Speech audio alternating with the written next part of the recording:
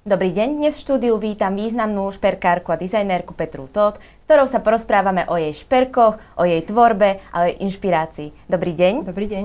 Petra, prezrate nám, e, čo bolo vlastne prvou, e, prvou takou myšlienkou, že touto cestou sa chcem uberať a chcem sa venovať tvorbe šperkov, výrobe šperkov. Ja šperky robím od svojich 6 rokov, čiže pre mňa to bola cesta daná. A ja som sa toho držala celý život, aj keď moji rodičia niekedy mali pocit, že by bolo mudrejšie robiť niečo nie až tak príliš zložité, ale ja som si išla za svojím vždy, ja som, som veľmi tvrdohlava. Takže detský sen splnený. Áno. Prešli ste si určite veľmi veľa prekažkami. Ako ste to zvládali? Ja som bojovník, čiže ja som sa vždy snažila nájsť tú cestu, ako prekonávať tie prekažky. Každá jedna prekažka ma vždy posunula a naučila niečo nové. Čiže pre mňa táto cesta šperkárky nie je len o tom robiť, čo ma baví, ale aj veľa sa učiť. Uh-huh. A rodičia teda nakoniec povolili?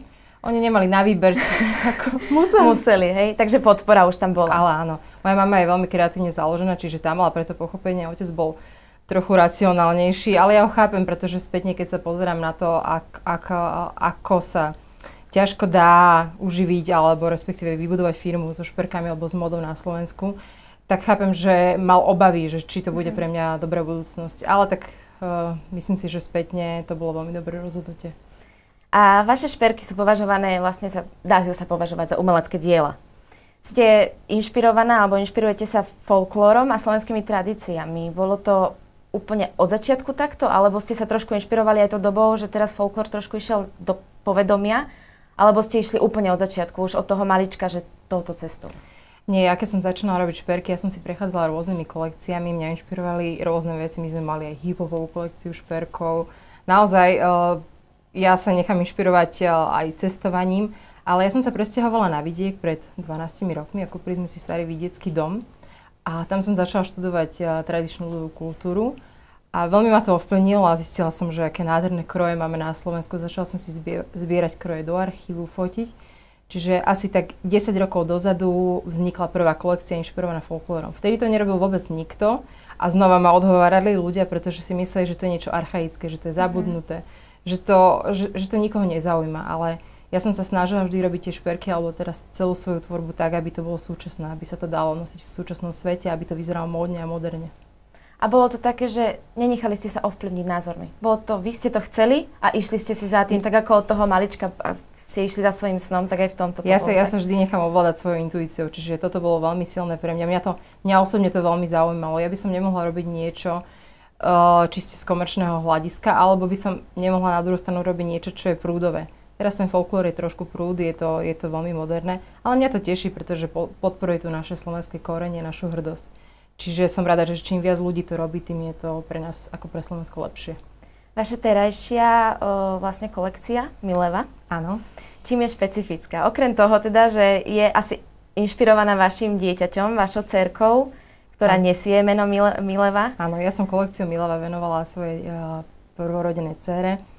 Uh, začala som ju tvoriť počas tehotenstva a vybrala som si práve vzor, ktorý sa mi, som mi na ňu hodil, pretože to, to meno znamená milovaná, milujúca. Čiže vybrala som si vzor, kde sú symboly srdca, rodiny, ochranné symboly. A je to pre mňa naozaj ako veľmi, veľmi citová kolekcia a aj si myslím, že osobne, že to bolo najlepšie, čo som doteraz vytvorila. Nielen kvôli tej téme, ale, ale celkovo spracovaním aj zmenili sme technológiu, vždy sa snažíme niečo nové naučiť a posúvať. A bolo to vlastne, teda všetky tie inšpirácie a všetky tie nápady vychádzajú od vás. Áno. Všetko vymýšľate vy, tak jak to má vyzerať, vy si to nejak kreslíte alebo predkreslujete, alebo... Áno, vždy, vždy sa to kreslí odo mňa. Ja sa vždy snažím inšpirovať uh, nejakým daným regiónom, čiže ja si naštudujem vzor z daného regiónu a to je práve taký ten problém v súčasnosti, že ľudia, keď spracovajú folklór, tak si niekde vygooglia nejaký, nejaký vzor a nevedia, odkiaľ to je. Častokrát používajú polské alebo maďarské vzory mm-hmm. a myslia si, že sú slovenské. Čiže ja som sa inšpirovala regionom Čataja, ja som tam išla za, za pani, ktorá sa venuje zbieraniu krojov, ktorá urobila takú krásnu čatajskú izbu, tam sa odporúčam, nech sa každý ide pozrieť. A som sa snažila aj učiť o tom, akým spôsobom boli tie kroje vyšívané vtedy. A to je pre mňa taký základ. A potom ja už od toho kreslím, vymýšľam tie dizajny, potom sa skúšajú prvé šperky, nie všetky výjdu a trvá to možno aj 3 roka, kým uzrie svetlo sveta prvý šperk. Uh-huh. Takže vlastne od vás vychádza ten nápad, vy si ano. to všetko nejako predpripravíte a potom už vám niekto asi pomáha s ano, tou realizáciou. Už, už teraz áno, už uh, sa to nedá aj tým, že mám uh, trojročné dieťa, tak uh, už neviem uh, ja sama vyrábať, kedy si som vyrábala všetko sama ale všetky dizajny sú, sú moje a všetky nápady sú moje. Ja, ja som taký malý diktátor, takže musím všetko riadiť. Aj va, vaša, vaša milé vám pomáha? Uh, áno, pomáha mi rozoberať tie šperky. Baví ju to. Áno, takže pri kreslenia pri takýchto nie je radšej. Tak ešte má 3 roky, a, ale uh, má, tak, má umelecké vlohy a dúfam, že by si ju to mohol držať a by mohla by ísť týmto smerom. Aký materiál používate pri výrobe vlastne šperkov? Posledná kolekcia je vyrobená z mosadze, sú, sú to pozlatené mosazné šperky. Ja som si vybrala schválne farbu rúžového zlata, pretože mi prišla taká meka tepla. Ale vždy každá nová kolekcia je inej farebnosti, čiže aj tá, čo príde teraz, bude úplne iná. Takže si aj alergici prídu na svoje? Tí, čo sú veľmi, veľmi alergickí, alergickí tak tým neodporúčam nosiť takéto šperky, pretože treba by radšej čisté zlato. Uh-huh. Okrem vlastne šperkov máte aj o, šaty, kabelky, pančušky ste, sme ano. zaznamenali teda, že ste mali. O, zákazničky prejavili obrovský záujem. Áno. Plánujete vlastne rozšíriť, rozšíriť tento sortiment, alebo už ste si povedali, že len šperky? Ale nie, vždy, vždy sa snažím niečo nové, pretože ma to baví a ja sa na tom veľa učím. Um, my, sme, my sme urobili šaty do kolekcie Milava z dôvodu, že ja som sa snažila nájsť nejaké vhodné šaty, ktoré by sme mohli použiť na fotenie kušperkom a žiadne mi nevyhovovali, mm-hmm. čiže som si navrhla malú kolekciu a keď už som si ju navrhla, tak už sme ju dali aj do predajky. Pretože aj tá výroba tej kolekcie trvala asi pol roka, tak uh, mi to prišlo ako stratený čas, aby aj klientky si nemohli kúpiť tie šaty. Kabelku som tiež chcela spraviť. Je vlastne všetko tvorím akoby pre seba. Keď mne niečo chýba v šatníku, tak si to vytvorím. Čiže každý jeden produkt, keď si pozriete, ja nosím a vždy sa páči mne. A materiály na tieto veci, teda na šaty a látky, to zháňate v zahraničí alebo túto na Slovensku? Áno, to bolo zložité, pretože ja som chcela použiť materiály, ktoré sú to aj trošku pôvodné. My sme použili lanovú látku mm-hmm. alebo prírodné, čiže použili sme lan alebo hodvap. A to je veľmi ťažko zohnať na Slovensku, čiže, tak sme prechádzali, máme z Talianska, máme z Maďarska rôzne, rôznych do, dovozcov látok, ale ja som sa hlavne snažila trošku zimitovať tú výšivku čatajskú pôvodnú. Čiže to sme veľmi dlho hľadali, kto by vedel spraviť takú uh-huh. nádhernú výšivku, kedy si to robili ženy ručne a to bola neuveriteľná práca. To už v súčasnosti je veľmi ťažké zimitovať. Že my sme urobili kombináciu strojovo-ručnej výšivky, aby sme to vôbec mohli tak pekne spraviť, ako to kedysi tie babičky robili. Ako dlho trvá napríklad taká výroba tej kabelky? Uh, samotná kabelka myslím, že trvá okolo 10 dní alebo 2 týždne, kým sa vyrobí jedna. Čo by mali ženy dodržiavať vlastne pri výbere šperkov?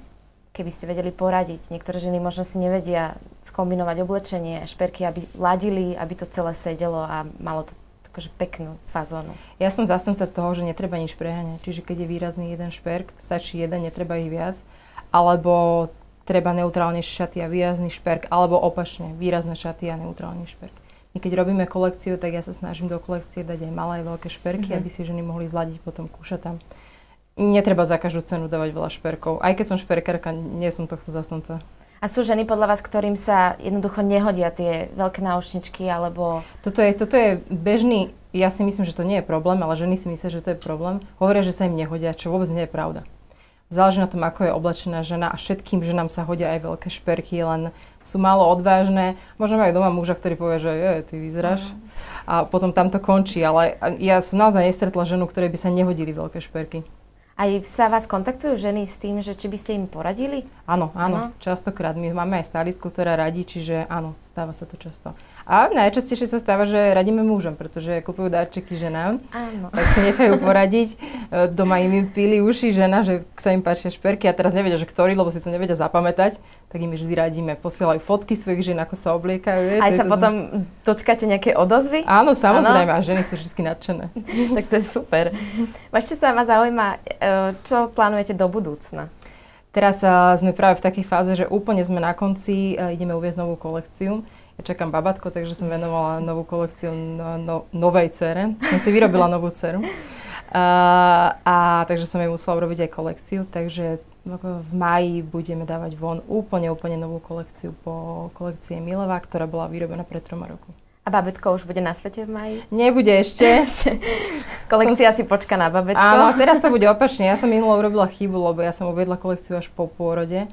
A bolo to ťažké, pretože mať malé babetko a mhm. uvádzať kolekciu bolo príliš náročné. Ja som si povedala, že keď budem mať druhé dieťa, tak to robím opačne aby som si urobila tú najväčšiu prácu predtým a potom sa venovala dieťaťu. A, a ako bude, čím bude špecifická tá nová kolekcia? Sa nechajte prekvapiť. A už aj názvo vieme? Alebo... Áno, Sára. Sára.